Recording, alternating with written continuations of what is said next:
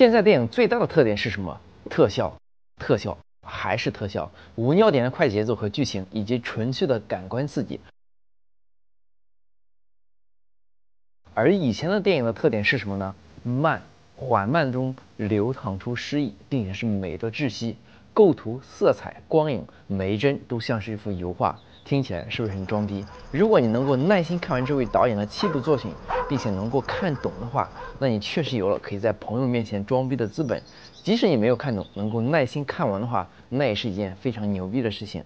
看完他的电影，绝对能够快速提升你的审美。而他就是享誉世界的苏联导演塔可夫斯基。他独特的电影理论和充满诗意的电影语言为世界所瞩目，与伯格曼、费里尼并称为世界现代艺术电影的圣三位一体。他究竟有多牛逼？看完这期视频，一定会刷新你对美的认知。老规矩，视频的结尾依然有丰富的福利来送给大家。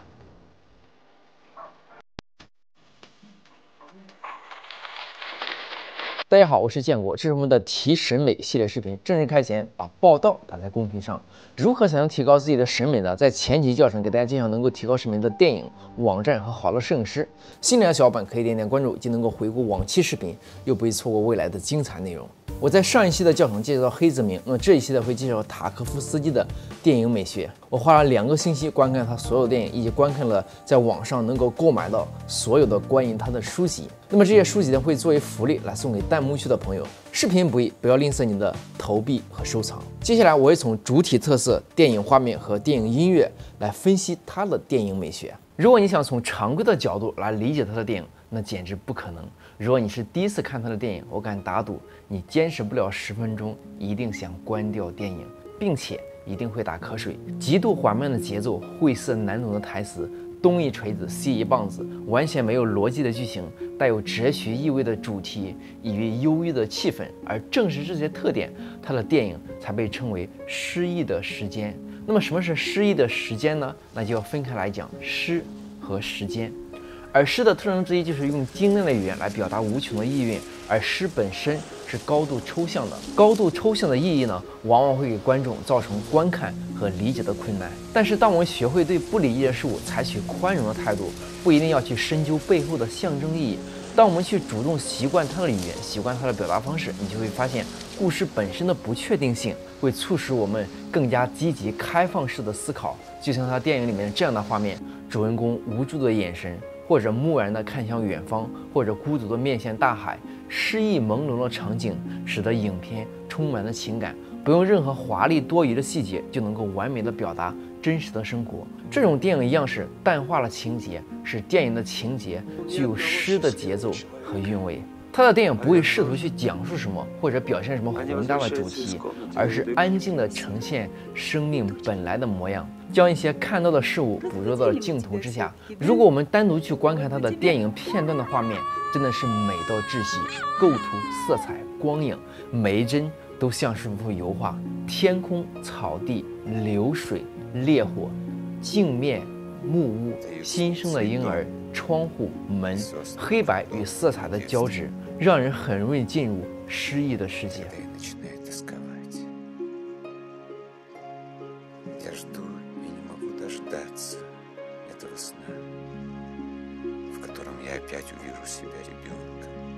但是作为观众的我们，总是试图从他的画面里面来找到一些象征意义，总是想找到画面与画面之间的逻辑和联系。但是呢，到头来呢，却发现是一头雾水。就像塔可夫斯基自己说的：“我们的生活和记忆散乱、零碎而模糊，没有估价，没有计划，而这些琐碎、没有秩序的生活的印象，才构成了生命的常态。”一部成功的电影，它里面风景的质感必须能够让人充满着回忆和诗意的联想。而他把这种记忆的状态拍成了电影，形成了一种电影语言，复制真实人生的感觉，精确的描述事件的同时呢，又能够忠实的传达感情，唤醒真实的生命体验。他电影里面的时间相互穿插，展现了对时间、空间、梦境和对生命的哲思，类似于意识流这种文学样式，而这也是导致很多人看不懂的原因。但是为什么我要去深究电影里面的情节呢？用开放式的心态去感受它电影里面的氛围，就足够让我们感受到美的极致。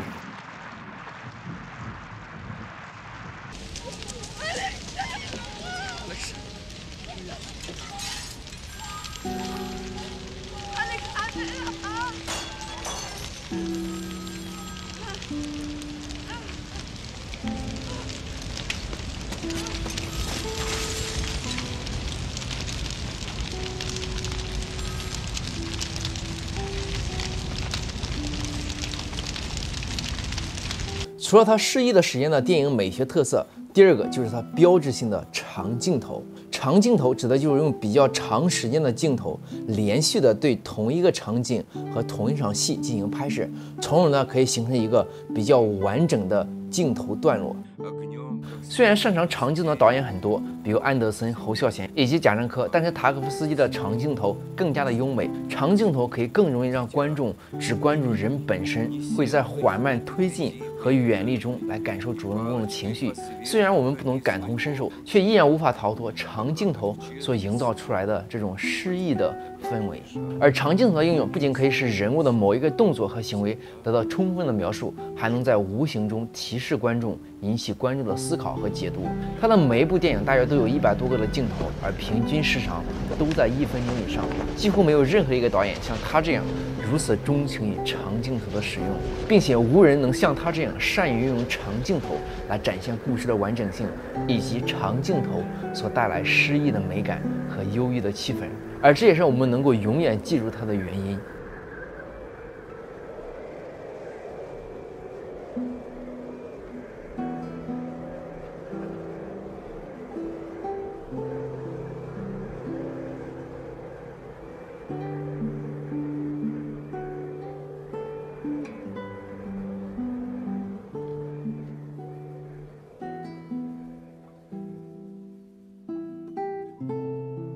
如果你也喜欢这段画面，可以把“美”字打在屏幕上。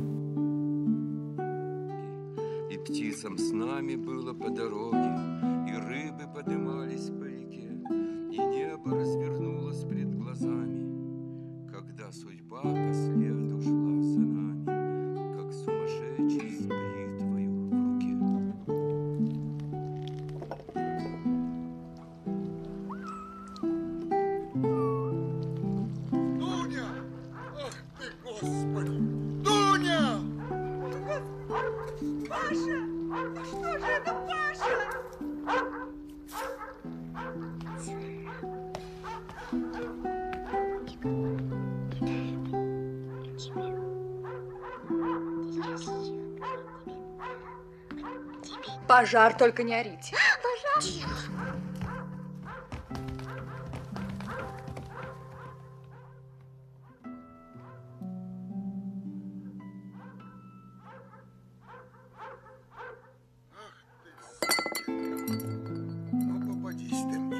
Может, это не наш Митька?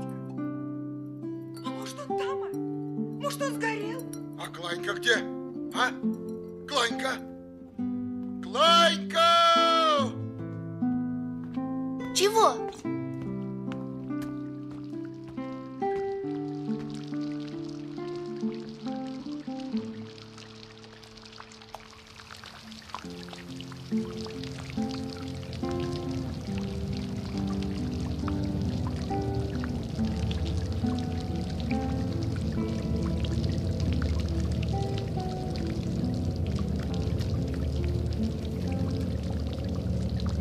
而这种忧郁或许与他本身的经历有关系。关于他的经历和人生的起伏，我在网络上面花钱购买了关于他美学解读和人生经历的期刊文章，链接在视频的置顶评论区，大家可以稍后去下载观看。可以把谢谢打在公屏上。除了优美的长镜头，另外一个就是他电影里面的音乐，音乐和色彩很相似，它可以煽动人们的主观情绪，加深电影画面的印象感触，感触印印象。加深电影画面的感触印象，并且能够增加电影的感知维度。塔可夫斯基电影里面的音乐，除了能够给你带来更多清晰实在的感知呢，更是能够引发无限的联想空间。比如在电影《镜子》中，声音总是若有若无，而观众呢可以感受到风吹原野或者狗叫的声音。安静的谈话中，忽然会插进来斗牛的声音以及现场观众的叫喊声，然而却找不到任何的影像画面。这种声音的浸润，就营造了一种氛围。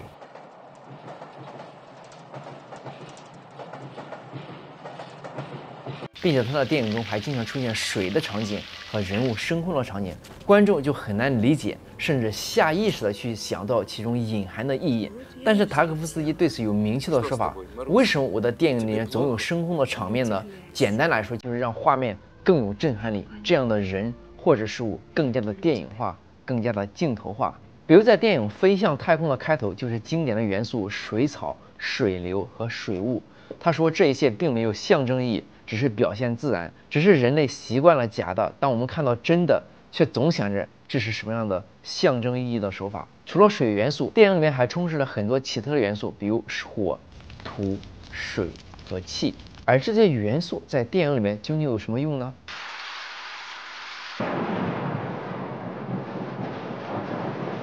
在塔科夫斯基的《电影的元素》这本书里，对这几种元素进行了非常深刻的解读。如果在这个视频进行阐述的话，要花费将近两个小时的时间。所以大家可以在这本书里对这些元素的代表的意义进行开放式的自我去解答。这本《电影的元素》、《潜行者》以及他的自传小说《雕刻时光》和他的一些图文集，会送给正在观看视频的你。稍后我会在动态里告诉大家如何来得到这些书籍。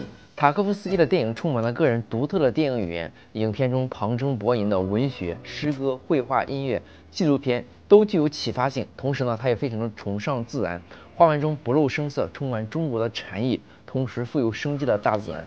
他试图用一种最简单平实的电影语言来表达内心深处最真实的情感。他关注的不是故事的结构，而是人们内心的精神状态，而这。无疑创造一种全新的影像语言。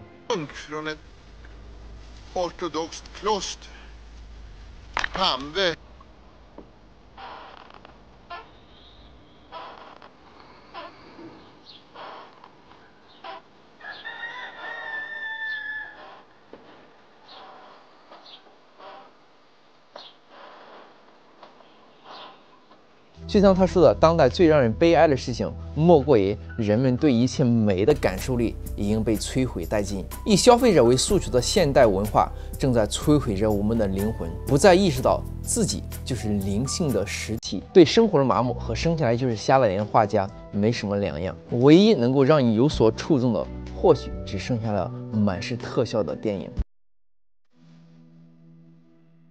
我是建国，这是今天视频的内容。视频制作不易，不要吝啬你的投币和收藏。下一期带你去新疆的拍摄现场，带你去感受我镜头下的大美新疆。